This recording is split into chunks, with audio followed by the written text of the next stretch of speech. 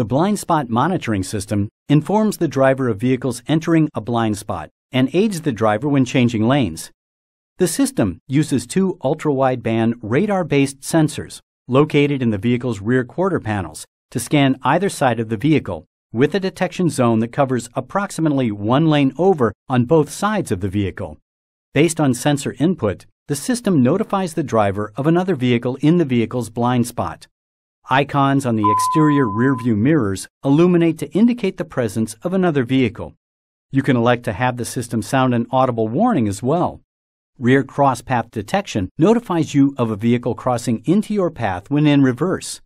This feature aids you when backing out of parking spaces where the view of oncoming vehicles may be blocked.